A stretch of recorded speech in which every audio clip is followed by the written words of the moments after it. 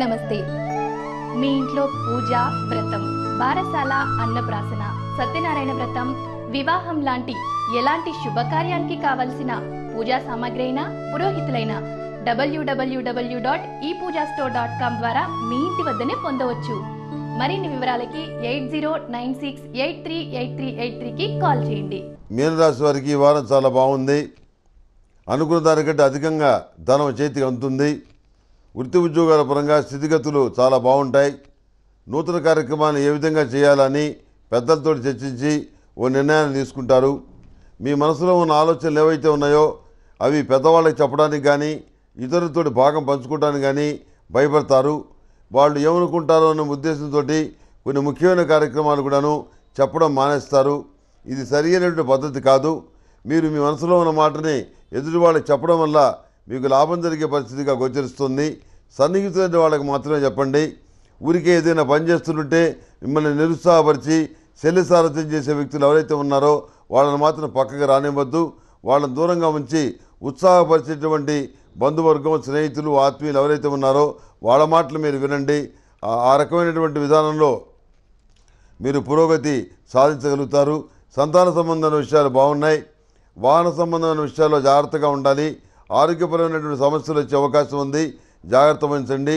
ప్రతి విషయంలో కూడాను నేనేమిటి నా స్థాయి ఏమిటి నేను చేస్తున్న పని ఏమిటని ఎప్పటికప్పుడు మిమ్మల్ని మీరు సంస్కరించుకునేటువంటి పని చేస్తారు. ఓ నాకు నాకేమిటి నాకేం పర్వాలేదు నేను బాగున్నాను కదా అనేటువంటి ఒక గర్వం లేకుండా అసలు మనలో ఏమైనా లోపాలు ఉన్నాయా మనం ఇంకా సాధించవలసిన ఏమైనా ఉందా అనేటువంటి విషయంలో మిమ్మల్ని మీరు సంస్కరించుకునేటువంటి ప్రయత్నాలు చేస్తారు. అదేవిధంగా ఎదుటి వాళ్ళకు కూడాను మంచి విషయాలు చెప్తారు. వాళ్ళ బాగు కోసం దురదృష్టవశాత్తు మంచి విషయాలు చెప్పినందుకు మీరు దూరం అవుతారు. ఇంట్లో ప్రశాంతమైన వాతావరణం ఉంటుంది. భార్యాభర్తల మధ్య అన్యోన్నతికి ఎలాంటి ఇబ్బంది లేదు. పిల్లల విషయంలో కొంత అభిప్రాయ భేదాలు వచ్చే అవకాశం ఉంది.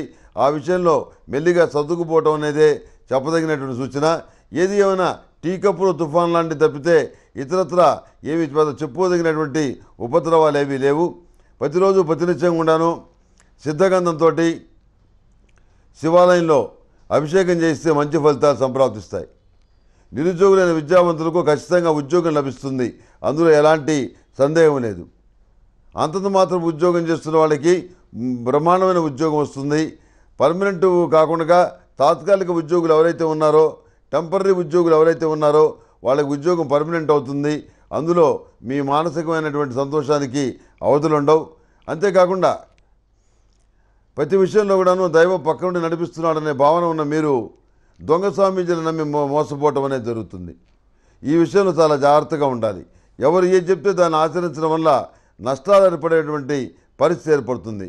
ఈ రుద్రాక్ష ధరించేటప్పుడు కూడాను దానికి అది మీ జాతకానికి సరిపోతుందా లేదా అనే విషయాన్ని ఖరారు చేసుకొని ఆ రుద్రాక్షను ధరించండి. దొరికింది కదా అని చెప్పి రుద్రాక్ష మెడలో వేసుకుంటే దానివల్ల మంచి ఫలితాలు రాకపోగా ఇబ్బందికరమైన పరిణామాలు ఏర్పడే పరిస్థితి గోచరిస్తుంది. అంతేకాకుండా స్థిరాస్తులకు సంబంధించిన వ్యవహారాలు కోర్టు వ్యవహారాలకు సంబంధించిన అంశాలు ఇవన్నీ కూడా మీకు లాభించే పరిస్థితిగా ఉన్నాయి. శుభకార్యాలు కూడా పూర్తవుతాయి. పునర్వివాహ సంబంధమైన విషయాలు కూడాను సానుకూలపడే పరిస్థితిగా గోచరిస్తుంది. ఈ మీనరాశి వారికి ఎల్లో కలర్ బాగుంటుంది. అదృష్ట సంఖ్య ఏడు. ఏదైనా పని మీద వెళ్ళేటప్పుడు గురువారం నాడు బయలుదేరి వెళ్ళండి. సానుకూల ఫలితాలు సంప్రాప్తిస్తాయి. ప్రతిరోజు ప్రతినిత్యం గుణను సర్పదోష నివారణ చూడంతో స్నానం చేయండి. మంచి ఫలితాలు ఏర్పడతాయి.